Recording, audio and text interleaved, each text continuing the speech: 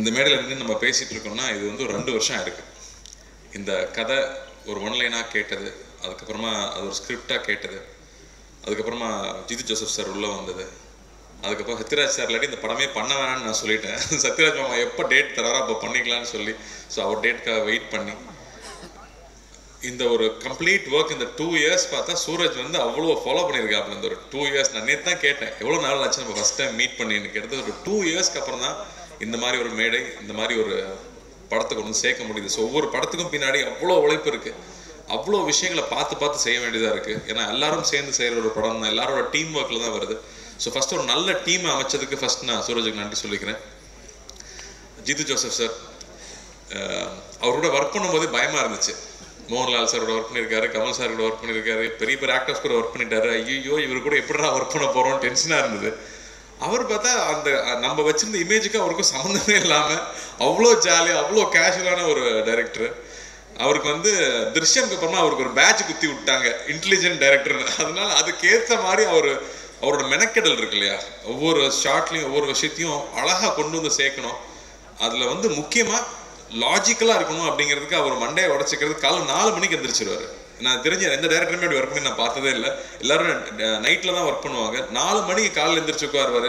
அவரோட மெசேஜ் அஞ்சு மணிக்கு வரும்.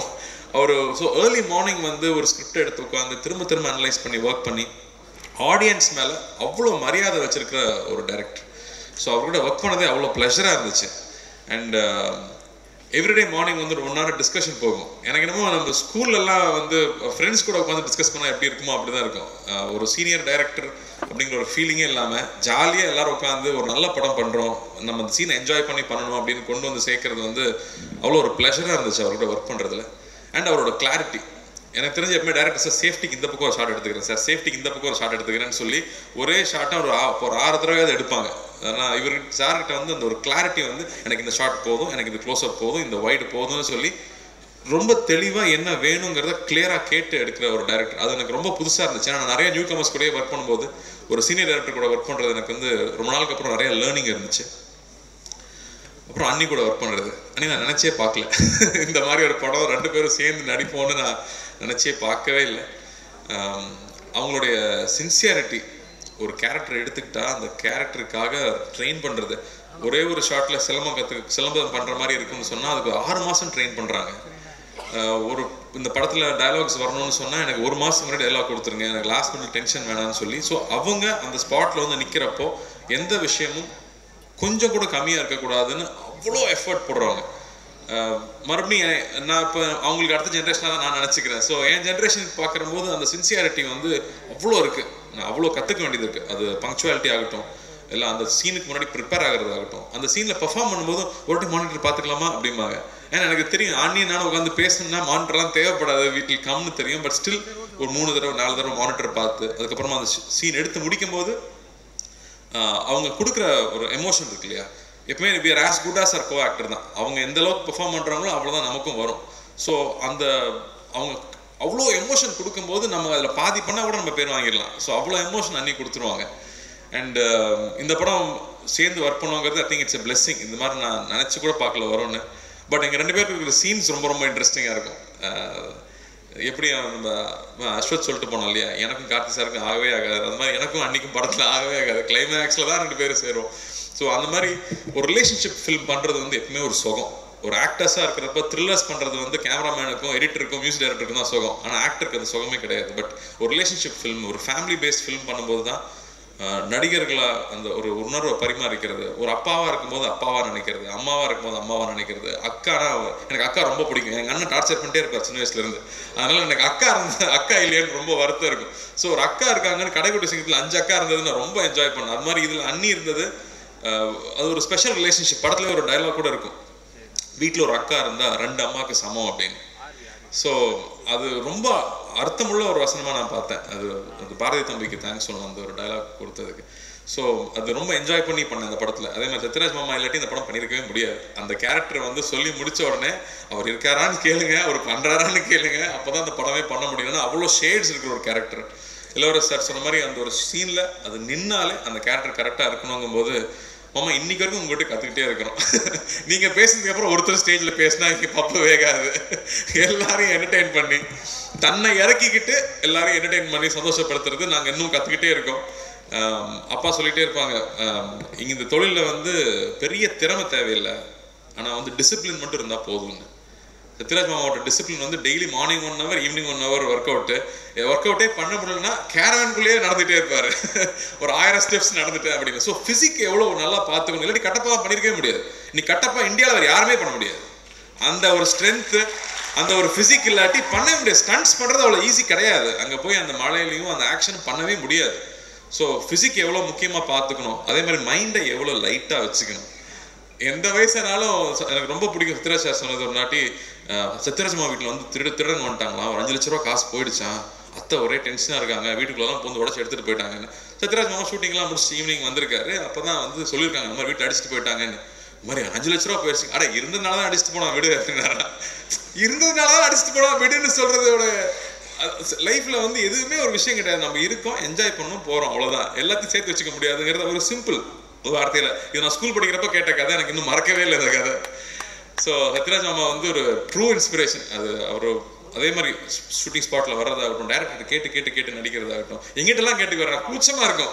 என்ன பைக்கில் கூட்டிகிட்டு போய் ஐஸ்கிரீம் வாங்கி கொடுத்து உட்காந்து இந்த ஷாட் நல்லா நடிச்சுனான்னு கேட்டால் நான் நல்லா இருக்குன்னு சொல்லணுமா? நல்லா இல்லைன்னு சொல்லணுமான்னு டவுட் வரும். பட் வந்து இதெல்லாம் வந்து எனக்கு வந்து ஒரு பிளெஸிங் சத்யராஜ் மாமா கூட பைக்கில் உட்காந்துட்டு போன பையன் இன்னைக்கு மாமா கூட நடிக்கிறாங்கிறதுலாம் எனக்கு வந்து மிகப்பெரிய ஒரு பிளஸ்ஸிங்காகவே நான் பார்க்குறேன். And um, R D sir R D sir camera பண்ணுறாருன்னா எனக்கு பயம் வந்துருச்சு. ஏன்னா அவர் அண்ணா மாதிரியே எதிர்பார்ப்பாரு நான் என்ன பண்ணுறதுன்னு ஏன்னா அவர் காக்க க- க- கஜினின்னு அண்ணா எப்படிலாம் அழகாக காட்ட முடியுமோ காமிச்சிருக்காரு. சார் இந்த ஷார்ட்டில் நடந்து வந்துன்னு. நான் அது இல்லை சார். எனக்கு அதெல்லாம் வராது சார். அந்த அழகெல்லாம் எனக்கு வராது சார்னு சொல்லுவேன்.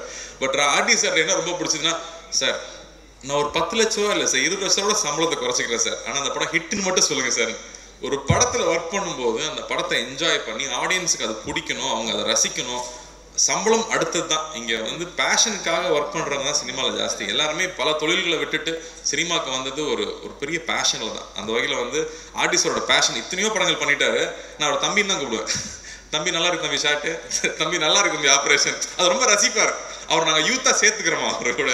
ஸோ அவர் வந்து அவ்வளோ என்ஜாய் பண்ண ஆர்டிஸ்டாக சார் கூட ஒர்க் பண்ணுறது ஏன்னா இப்போ முக்கியமாக ஒரு சீன் இருக்குன்னா அவர் தான் எங்களுக்கு ஃபர்ஸ்ட் ஆடியன்ஸ் ஏதாவது ஒரு ஒரு காமெடி இருக்குன்னு சொன்னால் ஃபர்ஸ்ட் ஆர்டிஸ்ட் சார் முன்னாடி நடிச்சு காமிக்கிறது. அவர் சிரிச்சார் நான் சீன் ஓகேப்பா அப்படின்னு சொல்லிட்டு போயிடும் ஏன்னா வேற ஆள் கிடையாது எங்களுக்கு ஜட்ஜ் பண்ணுறதுக்கு ஸோ அவர் தான் ஃபர்ஸ்ட் மாஸ் ஆடியன்ஸ் எங்களுக்கு. ஸோ அவர் ஒவ்வொரு சீனை அப்ரூவ் பண்ணது வந்து ரொம்ப சந்தோஷமாக இருந்தது. அண்ட் நிக்கிலா அண்ட் ஆன்சன் வந்து ஜித்து சாருக்கு முதலே பழக்கமா இல்லைன்னு கூட தெரியல. ஆனால் பார்த்தா எல்லாருமே ஒரு ஃபேமிலியாக இருக்கிற மாதிரியே தான் இருக்கும். அண்ட் ஜித்து சாரோட ஃபேமிலி அந்த கூடயே இருப்பாங்க. எப்போ எப்பவும் சிரிச்சுட்டே இருப்பாங்க.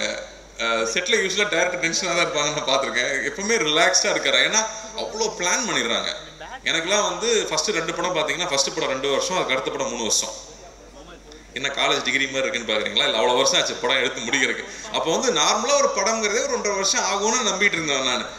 சிக்ஸ்டி ஃபைவ் டேஸில் ஒரு படம் முடிக்க முடியும் அப்படின்னு காமிச்சது இதுதான் ஃபஸ்ட் டைம் நான் பார்க்குறேன். அதாவது ஒரு சின்ன படமாக இல்லாமல் அதில் மூணு ஆக்ஷனு மூணு சாங்ஸு இவ்வளோ ஆக்டர்ஸு இத்தனை லொக்கேஷன் சேஞ்சு இது எல்லாத்தையுமே வந்து ஒரு சிக்ஸ்டி ஃபைவ் டேஸ்க்கு நடத்தி முடிக்க முடியும்னா அது ப்ரொடக்ஷன் கம்பெனிக்கு தான் நான் பெரிய நன்றி சொல்லணும். அவ்வளோ பக்கா பிளானிங்கு அண்ட் டைரக்டரோட பிளானிங் அதாவது இன்னைக்கு ஒரு சீன் மிஸ் ஆச்சு இன்னைக்கு மழை வந்துச்சு ஷூட் பண்ண முடியலன்னா கோ டைரக்டர் இருப்பாங்க பாஸ்கர் சார் இருப்பார் முருகேஷ் இருப்பாங்க. இம்மீடியட்டாக சேஞ்ச் சேஞ்ச் பண்ணி வேறு சீன் எடுப்பாங்க.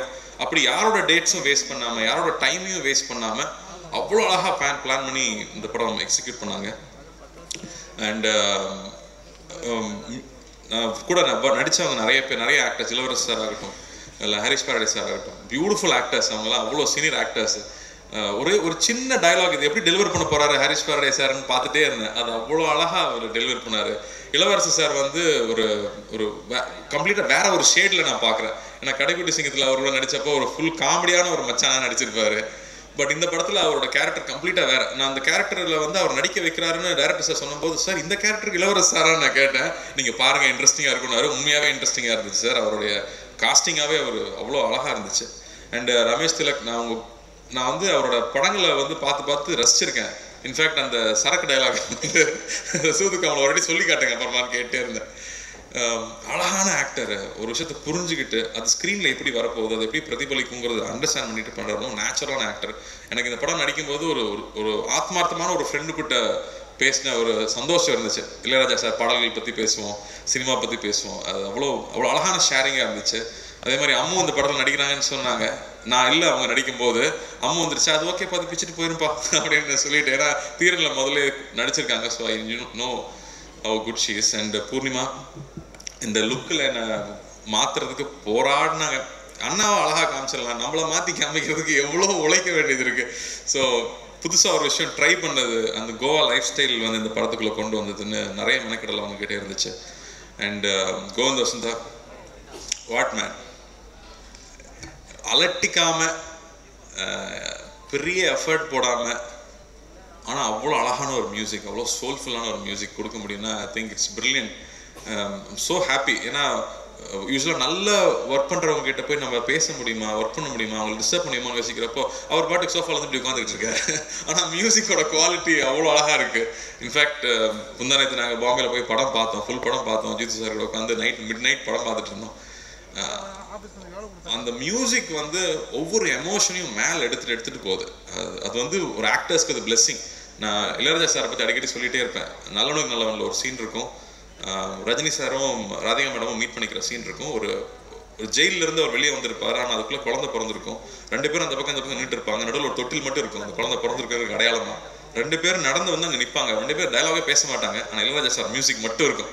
அந்த பத்து வருஷத்துல அவங்க பிரிஞ்சிருந்ததை மொத்தம் அந்த மியூசிக்கே சொல்லிடும் ஸோ நல்ல மியூசிக் டைரக்டர் கதையை புரிஞ்சுக்கிற மியூசிக் டைரக்டர் இருக்கிறது ஆக்டர்ஸ்க்கு பெரிய ஒரு வரப்பிரசாதம். நாங்கள் அவார்டு வாங்கிட்டு போயிடுவோம் நடிச்சதா சொல்லிக்கிட்டு. ஆனால் ஆக்சுவலாக மியூசிக்கில் தான் எல்லாமே நடந்திருக்கும். அந்த மாதிரி இந்த படத்தில் வந்து அவ்வளோ ட்விஸ்ட் அண்ட் டர்ன்ஸ் இருக்கும். அஜித் சார் சொன்ன மாதிரி என்னோட பொடி கொஞ்சம் அங்கங்கே இருக்குன்னு சொன்னார்ல அது படம் ஃபுல்லாக இருக்கு.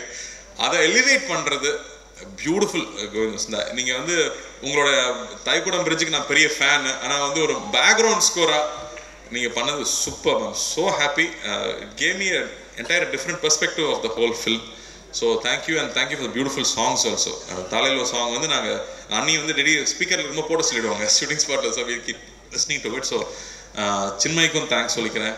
Um, அவங்க உடம்பு சரியில்லை அதனால் வர முடியல. அப்புறம் சுரேஷ் பீட்டர்சஸ் நம்ம வந்து சிக்கு புக்கு சிக்கு புக்கு ரேலே அப்போ பாடினது அவர் திரும்ப எனக்கு பாடியிருக்காருங்கிறது I feel so happy and இந்த படம் uh, இப்போ ஷேப்பப்பாக இருக்கிற விதமாகட்டும் அண்ட் uh, அது கைதிக்கு அப்புறமா இந்த படம் வரும்போது யூ ஃபீல் மோர் கான்ஃபிடென்ட் ஒரு நல்ல ஃபேமிலி ஃபிலிம் எல்லாரும் சேர்ந்து பார்க்குற படம். அதில் ஹியூமர் இருக்குது த்ரில்லிங் மூமெண்ட்ஸ் இருக்குது ஆக்ஷன் இருக்குது ரொமான்ஸ் இருக்குது அண்ட் uh, பெர்ஃபார்மன்ஸ் நல்ல ஸ்கோப் இருக்குது எல்லா ஆக்டர்ஸ்க்கும் நல்ல ஸ்கோப் இருக்குது எல்லாரும் நல்ல ஆக்டர்ஸும் இந்த படத்தில் நடிச்சிருக்காங்கும் போது ஒரு ஒரு பெரிய டீமாக ஒரு முழுமையான ஒரு படத்தை வந்து இந்த இயர் ரெண்டுக்கு கொண்டு வரோங்கிறது I feel very very happy and நீங்கள் படம் பாருங்கள் உங்களுக்கு நிச்சயமாக பிடிக்கும் நினைக்கிறேன். இது ஒரு அன்யூஷுவல் காம்பினேஷன் தமிழ் சினிமாவில் இந்த மாதிரி நடக்கிறது ரொம்ப அபூர்வம். அஜித் ஜோசப் சார் வந்து இங்கே ஒரு தமிழ் படம் பண்ணுறது அண்ணி நானும் சேர்ந்து நடிக்கிறதாகட்டும் இல்லாட்டி சத்யராஜ் மாமா அதில் ஒரு அவ்வளோ ஒரு சாலிடான ஒரு கேரக்டரில் ஒரு தாங்கி பிடிக்கிறதாகட்டும்.